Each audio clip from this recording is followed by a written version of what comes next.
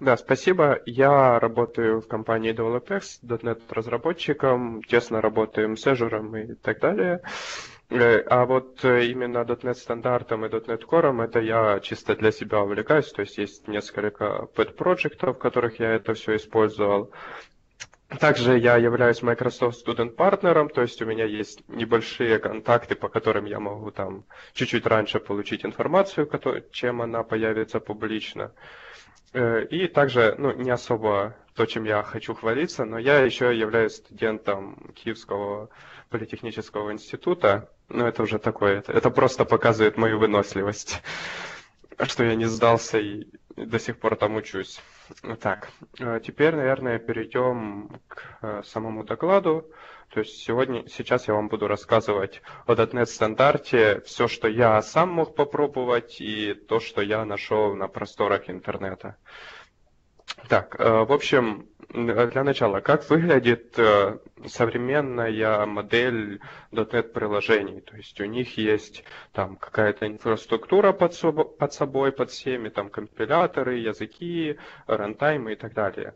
И в основе каждого, ну, есть такие три большие как бы фреймворка, то есть .NET Framework, .NET Core и Xamarin. И в основе каждого из этого фреймворка есть э, своя базовая библиотека, но на самом деле это в Microsoft их почему-то называют библиотеками, но на самом деле это просто набор API, который предоставляет сама платформа. Э, в чем э, проблема этого подхода? Нам нужно, ну, то есть под каждую платформу создавать свою, ну, то есть если мы хотим сделать какую-то библиотеку, которая там будет работать под всеми платформами, то есть нам надо создавать по отдельному экземпляру библиотеки под каждую платформу. Также нам нужно то есть все какие-то маленькие изменения там под каждой платформой и делать там разный код писать, это не совсем удобно. Да даже и просто если копировать тот же самый код, это тоже не совсем удобно. И то есть надо иногда там можем забыть, что там вот туда мы добавили код, а в другую библиотеку забыли добавить, уже различия начинаются, и очень много проблем с этого вытекает. Что же будет у нас как бы завтра? Ну, я надеюсь, что это завтра наступит у нас. Ну, вообще, как обещают разработчики, то это завтра наступит 7 марта с релизом 2017 э, Visual Studio. Э, раньше я думал, что это завтра наступит после Build а, ну, конференции Build. Э, если кто не понял. И, в общем, у нас вместо вот этих всех э, базовых библиотек под каждый фреймворк будет один, одна базовая библиотека, которая называется .NET стандарт. Э, в чем ее преимущество? В том, что мы можем использовать, ну, то есть создавать одну библиотеку, которая будет просто таргетить .NET стандарт и использовать эту библиотеку в каждой платформе. Также ну, мы можем перес, без проблем переиспользовать этот код, как бы, и э, э .NET стандарт может развиваться независимо от развития платформы. То есть выйдет новая версия стандарта, да, может какая-то платформа его еще не поддерживать, но в принципе все, которые, ну, как, которые, платформы, которые Microsoft обещает развивать, они в будущем будут поддерживать все выше и выше версию стандарта. Э, так, что же такое .NET стандарт? Э, .NET стандарт это вот это спецификация, которая представляет набор API, которые каждая .NET платформа должна имплементировать. Э, на сам, ну, сейчас, если вы можете даже попробовать .NET стандарт, не 2.0, 2.0 попробовать очень тяжело. Я расскажу потом, позже, почему. Вот .NET стандарт 1.6 можно достаточно просто попробовать, если у вас есть 15-я студия, для этого нам нужно создать PCL-библиотеку, а потом э, в настройках ее конвертировать в .NET стандарт. Просто так .NET стандарт библиотеку не создать. Или просто установить себе релиз кандидат 2017 студии, там уже есть такой тип проектов, как .NET стандарт. А, в чем э, также, ну, раньше была такая замена .NET стандарту, были PCL, Portable Class Libraries, и вот в чем они отличаются от э, .NET стандарта. PCL это по сути просто такое пересечение API, которое поддерживает каждая платформа. Их там очень много разных наборов, то есть мы выбираем, что ага, нам надо чтобы наша библиотека могла использоваться там в UVP приложении и в Xamarin приложении. И оно нам формирует набор API, которые поддерживаются и там, и там. Э, проблемы, которые есть у PCL. Э, нету никакого системативного подхода для версионирования, то есть мы не можем сказать, что э, там PCL 18 поддерживает больше API, чем, ну, то есть поддерживают те API, которые есть в том же PCL 1.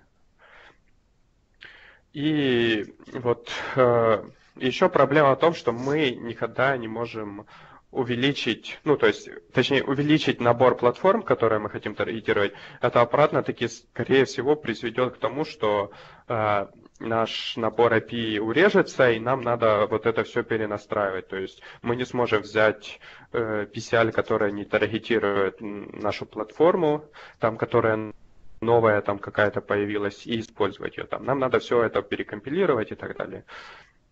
Э, как работает версионирование .NET стандарт? Вот то, что я говорил, что PCL мы не можем говорить, что версия там 1 э, меньше версии э, там, 18, то в .NET стандарт это уже работает. То есть мы, ну, они гарантируют, что если мы таргетируем там .NET стандарт 1.6, то все библиотеки, там, которые 1.3 и 1.0, они будут там тоже работать.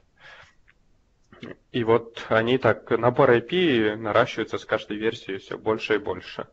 И каждая платформа должна имплементировать конкретную версию .NET стандарта. То есть мы можем глянуть, что ага, у нас там UVP приложение там поддерживает версию 1.6, и там нам надо еще там делать библиотеку это под там .NET Framework.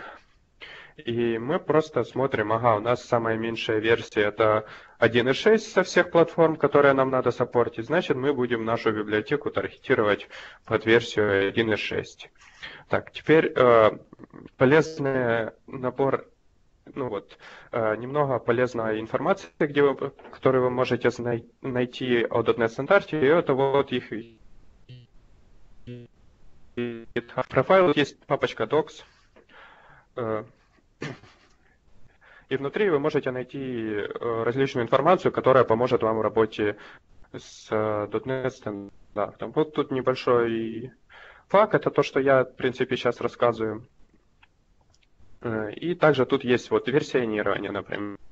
То есть мы можем посмотреть, какая версия того же фреймворка там, имплементирует какую версию стандарта. Вот можем глянуть, что UVP там оно сейчас 1.4, там Core пока ну, 1.0, 1.0. Единственное, кто сейчас имплементирует .NET стандарт 2.0, это .NET Framework.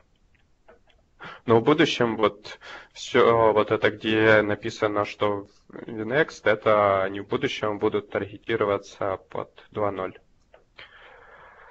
Э, также можем найти, как относятся разные PCL э, с .NET стандартами. Ну вот видите, э, что у нас все PCL профили таргетируют значительно меньше .NET стандарт, чем тот же .NET стандарт поддерживается, если брать просто платформы.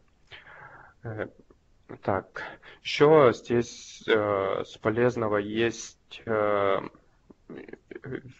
такая папочка versions, и мы можем здесь посмотреть, во-первых, э, какие новые э, API добавились в конкретной версии.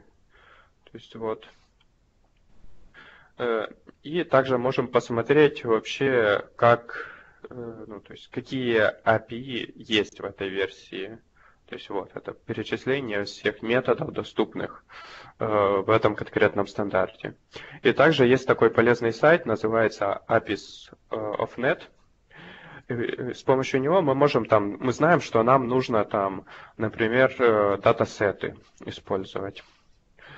Мы вводим здесь датасет, и смотрим, ага, у нас вот э, имплементирует, э, поддерживает э, этот класс .NET Core 2.0.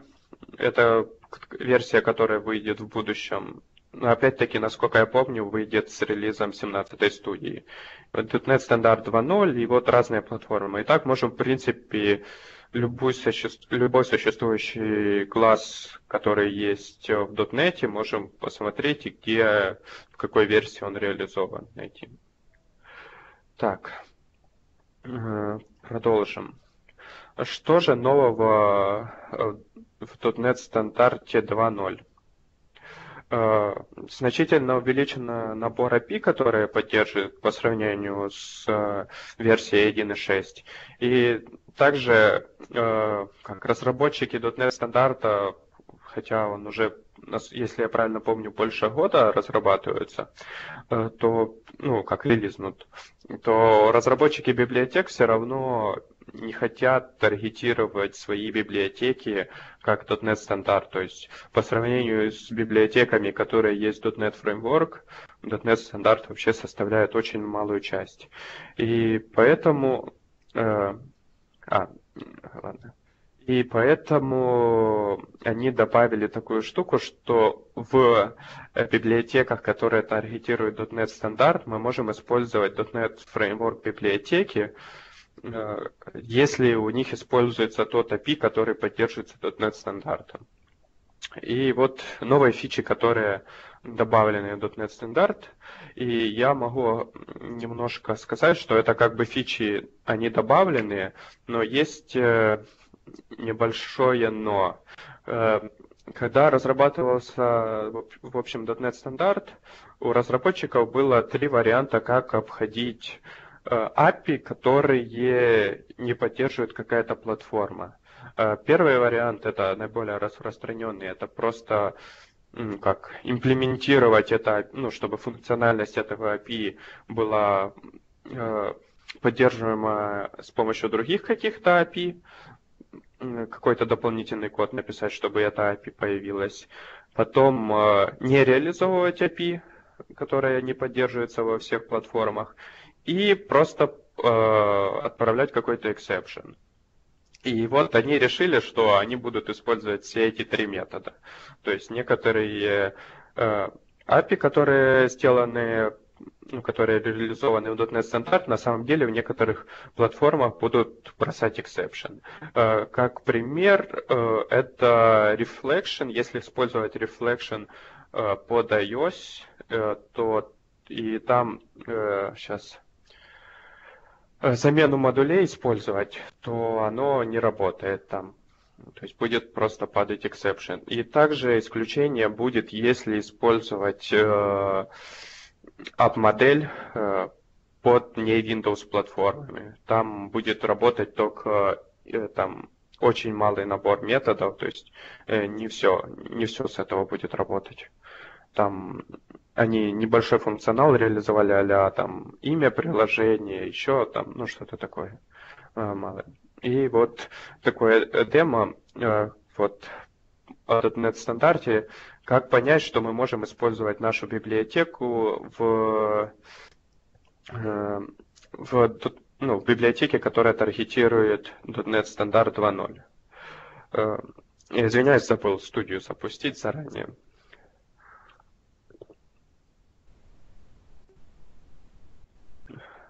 Принципе, если есть какие-то вопросы, можете задавать по ходу, ну, на, на ходу. Мне лучше будет ответить в контексте, чем отвечать потом, я думаю. Ну хорошо, ты рассказываешь сейчас про .NET стандарт, как бы там, да, фича. То есть хорошо, что, что он нам дает, какие нам тут, какие привилегии, которые там у нас не может дать там .NET Core или .NET, .NET стандартный, .NET обычный. Ну так вот, э, суть в том, чтобы мы могли использовать библиотеку, ну один раз написать код и использовать его и в .NET обычном, и в .NET Core. То есть это как бы, это просто тип библиотеки такой. Там мы можем написать один код и использовать его везде, использовать там в том же Xamarin, э, потом UVP приложении, там в .NET Core использовать, и потом в обычном фреймворке. То есть мы можем один раз написать какую-то логику, там, например, те же там утилиты, которые там я думаю, у всех в проекте есть там набор каких-то комонов, там библиотека, которая просто реализует там комон там для работы со стрингами, там еще что-то, еще что-то. Просто переиспользовать, например, эту библиотеку под всеми платформами, а не вводить что-то новое. А планируется какой-то, ну, допустим, вот там 4,5 фреймворк был, э, и он там поддерживает стандарт 1.6, но как известно, .NET это более enterprise такая, такая платформа, и некоторые enterprise используют, допустим, четвертый. И что делать в этом случае? Он же не поддерживает, ну, а и как бы этот .NET стандарт, и тогда выходит так, что мы не, не сможем один раз написать код. Ну, в принципе, если мы будем использовать только тот набор API, который предоставляет там, сейчас, э, секунду, можно. Ну, я больше к тому спрашиваю, планируется ли какой-то, ну, апгрейд, э, вот, допустим, старых версий там фреймворков на совместимость со стандартом или нет? Нет, это просто апдейтите фреймворк и ну, это на самом деле не так уж и сложно, насколько я помню, то там никаких особых breaking change нет. Но если э, ну, они обещают, что новые версии фреймворка, они обязательно будут таргетировать более старшую версию стандарта. Это да. И в будущем они обещают, что те платформы, которые они собираются развивать, то есть вот, например, там э, вот этот набор приложений, они уже забили на них, и они вот так и останутся. Но вот этот набор приложений, они будут все время расти, и они будут имплементировать, стараться как можно высшую версию э, стандарта. Вопрос, может быть, скорее был в том, что ну, .NET стандарт это же просто библиотека, скачанная с Nugget, да? Да. И какое будет у нее там, может быть, минимальное требование? Может быть, она там на 4.0 будет работать на ура? Компилятор вот... тот же самый. А, ну, мне кажется, тут а. немного, смотрите, я, может, это тоже попробую как вариант дать. Но .NET стандарт — это только описание IP, это спецификация в основном набор API. Вот смотрите, хороший пример это Newtonsoft JSON библиотека. Я думаю, что все ее используют, знают. Если вы посмотрите, она может таргетиться даже на .NET 2.0 фреймворк. То есть она таргетится на Xamarin, а, используя PCL, она на Universal Windows Platform и тому подобное. То есть она сейчас уже покрывает а, почти все. А, и а, в чем ее секрет? Если вы зайдете в исходный код, посмотрите, основная проблема разработчика, вот это pain points, то, что ему нужно условной компиляции. То есть он, например, хочет использовать картриджи, а картриджи появились это в 3.5. Ему надо картриджи в 2.0. Он, соответственно, пишет, если я компилируюсь под .NET 2.0, то мне нужно там самому реализовать картриджи. Вот это проблема. То есть вам нужно постоянно вот этот какой-то API-сет ну, а, самим доделывать. А тут идея, что берете, пишете, и вот этот сет API, набор, который э, стандартом является 2.0, да, там версии перечисления API, вы используете на всех платформах. Вот тут больше такой вот это, ну, подход, как бы, чтобы вы могли свое существующее приложение Full.NET Framework 4.6.1 подключить на .NET Core проект. Сейчас вы такого не можете сделать, потому что ну, нету совместимости. Вот, вот такая вот идея. Илья, поправь меня, если... Ну, да, да, да, это ты прав, я даже хочу добавить, что, например, сами разработчики это, ну, .NET стандарта, они решили, что а, мы не будем реализовывать там все, вообще все-все есть функционал, мы просто часть функционала будем предоставлять как нюгиты, которые таргетируют некоторую платформу, ну, .NET стандарт некоторый, и просто для того, чтобы там мы могли развиваться сами библиотеки, не ожидая там, ну, ну то есть, например, там э, JSON сериалайзеры некоторые, они вынесли просто в NuGet пакеты, и теперь разработчики могут там проапдейтить их, не, не ожидая новой версии стандарта. Вот, да, ну просто это набор API, которые должны, ну, которые э, можно использовать в своих библиотеках для того, чтобы мы могли там эту библиотеку переиспользовать везде. Кстати, интересный момент, пока, Илья, ты открываешь. А, то, что вот сейчас у нас .NET стандарт появился и описали API, сделали спецификацию API, этого в .NET никогда не было, то есть спецификация. А если мы возьмем э, нашего соседа Java, у них давно есть спецификация API и разные имплементации этих API. А у нас не было. У нас была спецификация языка, но не было спецификации самих API во фреймворке. Ну, это, наверное, из-за того, что у нас как бы э, все под Windows раньше было. И из-за этого в этом особо надобности, скорее всего, не было. А так как Java, она кроссплатформенная, скорее всего, это из-за того, что там под разными платформами по-разному надо этот сет э, ну, API, например, описывать.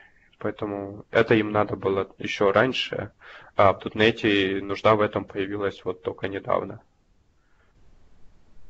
Так, и вот есть такая полезная тулза, называется... Сейчас, подожди немножко. Хочу вернуться к вопросу к совместимости, к обратной. Я вот посмотрел .NET Standard Library, она депендит на себя там .NET Core Platforms. Вот, я так понимаю, что все, что там содержит в себе .NET Core, это 4.5 фреймворки и выше, но не меньше, правильно я понимаю? Да. То есть вопросу, то есть 4 на 4.0 это .NET Standard вообще никак не ляжет? Ну, мне кажется, ну, проблема... На 4.0 оно никак не ляжет, потому что даже в этой схеме написано, да, .NET Standard 2 это 4.6.1. То есть mm-hmm. это список API, потому что если вы с 4.0 мигрируете на 4.6, вам появляется дополнительный API.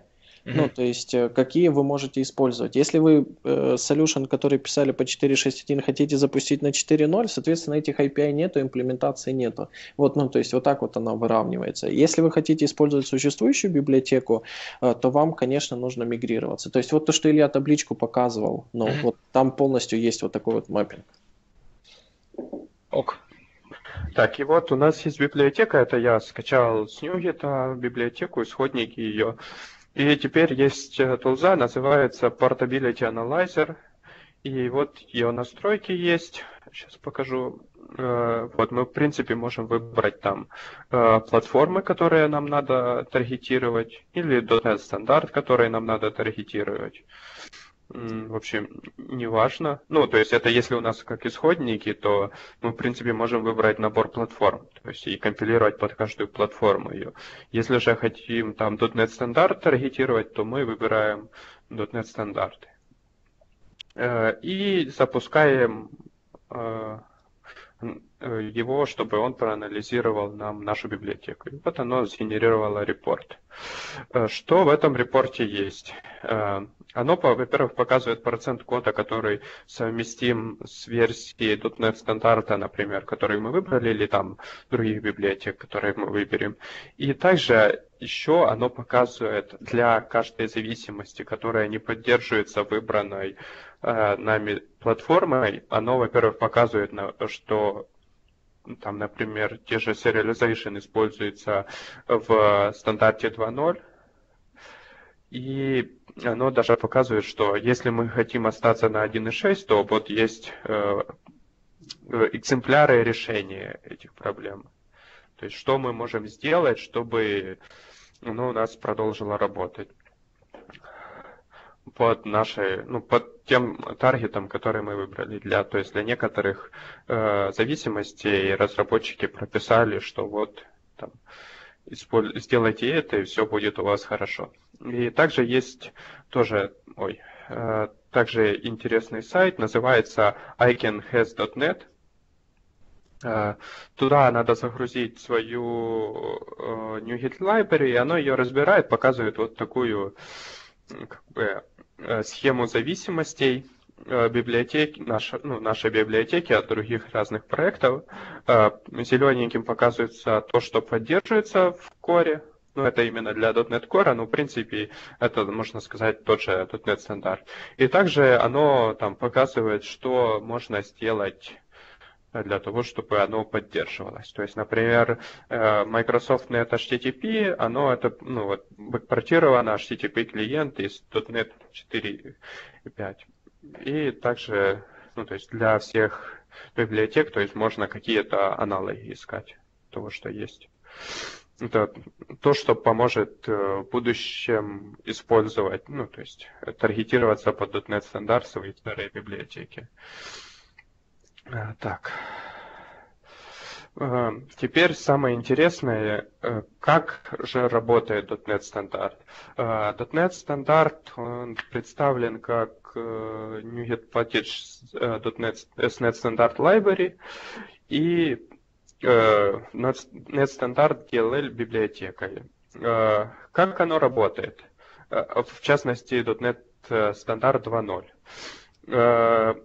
.NET стандарт 2.0, в котором можем, мы можем референсить э, не только наши библиотеки, а еще можем референсить о, не только .NET стандарт библиотеки можем референсить, а еще .NET Framework библиотеки, то во время компиляции у нас делается type forward, и в нашей .NET Framework библиотеке э, на место зависимостей, которые там с .NET фреймворка подставляются, ну, там, где используется API .NET фреймворка, подставляются вызовы как бы .NET стандарта. А в рантайме, потом уже, когда мы запустили э, нашу э, нашу библиотеку, ну, то есть используем уже нашу библиотеку в рантайме, то тогда у нас наоборот идет таймфорвардинг. Мы API, которые там в .NET стандарте, мы на место их подставляем уже конкретную имплементацию в этой платформе. То есть, да, если мы будем делать это с .NET фреймворком, ну и тут дальше вот, э, ну, э, с .NET фреймворком, если мы будем это делать, э, то у нас, по сути, мы так два раза тайпфордиться будем, то есть мы API .NET фреймворка превратили в .NET стандарт, а потом в рантайме .NET стандарт превратили в .NET фреймворк назад.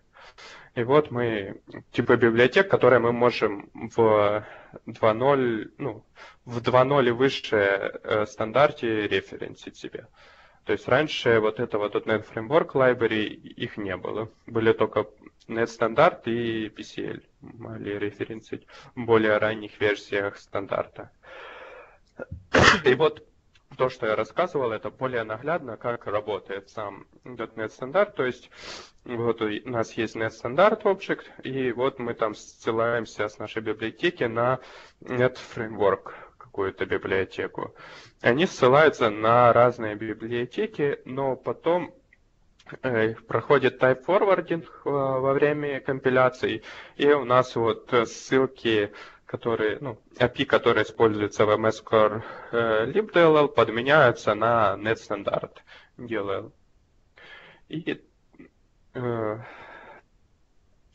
и вот что происходит во время работы. То есть у нас есть какое-то, какая-то .NET application, например, там .NET Framework. То есть и она э, имеет там какие-то фреймворк, э, ну, зависимости какие-то от фреймворка. И вот у нас есть наша .NET Standard Based Class Library, и мы с нее уже наследуемся в .NET стандарт библиотеки ой, э, извиняюсь, э, с .NET стандарта мы уже там подменяем внутри него э, на зависимости с фреймворка.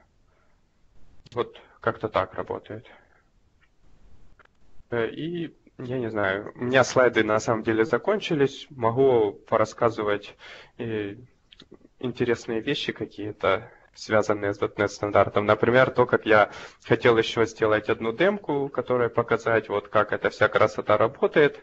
И я искал долго, как консумить nightly билды, но оказалось, что их просто нету пока для .NET стандарта, потому что у них continuous integration процесс завезли только 6 дней назад, к сожалению.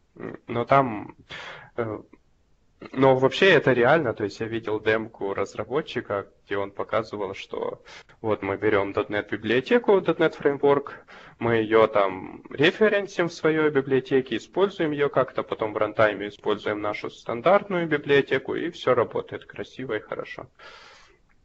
Э, так. И если вам это все интересно, и вы хотите узнавать что-то новое, то вот есть такая полезная группа в Фейсбуке, .NET Core Ukrainian User Group. Я один из администраторов ее, и в принципе мы тут постим постоянно разные полезные статьи, и также люди, ну если у кого-то есть какие-то вопросы, то приходят люди, которые помогают э, ответить на них. Так, в общем, я как бы закончил. Могу поотвечать на вопросы еще, если у кого-то есть. Да, у меня есть вопрос. А вот по поводу добавления библиотек. Будет ли в студии какой-то блокер, ну, допустим, если у меня там библиотека не реализуется в .NET стандарте? Ну, а да. я хочу ее, например, добавить. И мне э, студия вот. скажет, например, о том, что... Она типа... скажет, при компи... ну, когда компиля... компилировать будете, то оно... Да, компи... при компиляции оно... Даже не, даже Рослин во время анализа библиотеки он скажет, что не-не-не, не подходит. То есть вы там начнете что-то писать, оно там э, IntelliSense начнет работать, и оно просто скажет, что э, типа мы не можем это зареференсить. Это то, что, ну, это то, как работало, когда я смотрел демо, демо от разработчика. Окей, спасибо. Еще вопросы? Можно еще раз ту ссылочку, которую ты вначале показывал по поводу э, спецификации по API? -шке? Вот этот. Там APIS Info, что-то там. Не-не-не, там а, был. Да. Вот это, да? Да. APIS Net. APIS Net, да, спасибо. Я могу, в принципе, скинуть Игорю ссылки на все, и он с вами зашарит потом. Да, и мы добавим, добавим в пост. Хорошая идея. А, так. Еще вопросы?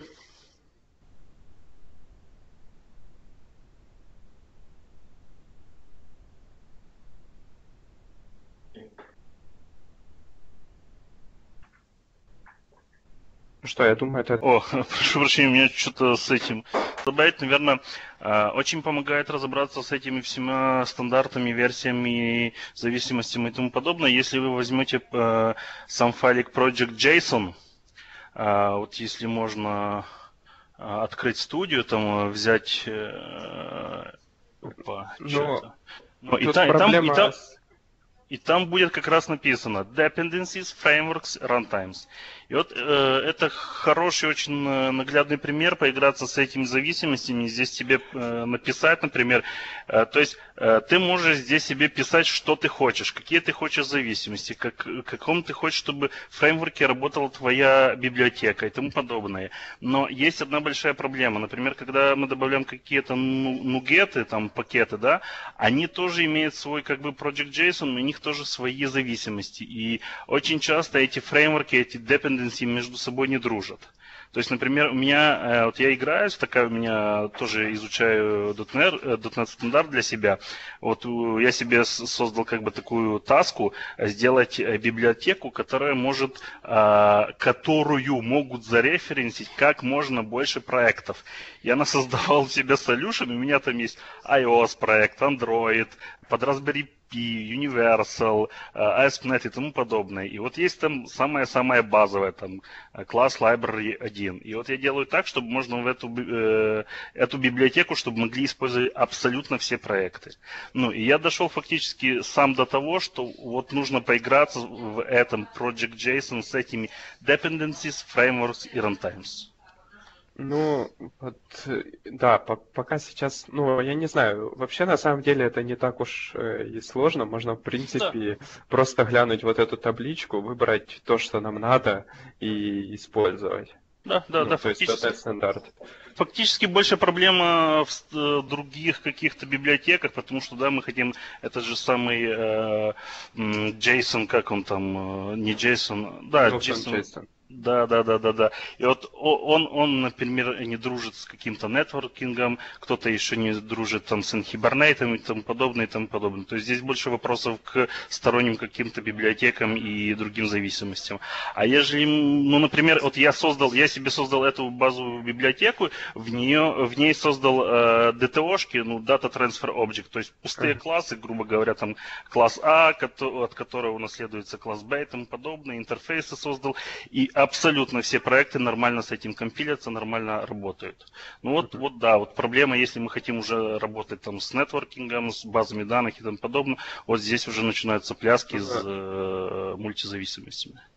Ну вот эту проблему, мне кажется, она будет вот с выходом .NET стандарта 2.0, она будет более-менее решаться. Да, да, да, я, я вот тоже большая у меня надежда на это, что они вот решат.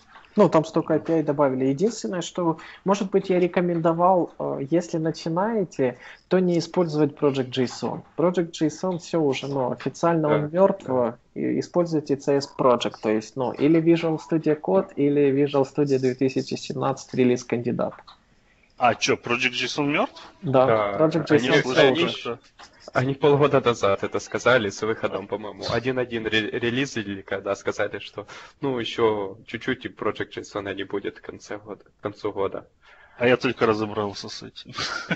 Ничего, главное открыть студию 2017, нас конвертирует, вот, и ага. все будет хорошо. Там, там довольно понятно. Да, ну это проблема, они хотят, чтобы... Ну там проблема с MS Build, насколько я помню. Э, поэтому они отказываются от Project JSON, потому что MS Build его не захотел нормально кушать. Окей. А долго продемонстрировать э, транслирование из стандартного, стандартной либо в, вернее, из BCL там или PCL, там, как вот ты говорил, на Э, началь... на 15 студии в стандарт. Сейчас я могу, в принципе, показать. Э, то есть вот создаем... Э, так. Вот. Она просто называется класс Library Portable. Создаем ее. Там выбираем набор, который, ну, платформ, которые мы хотим поддерживать.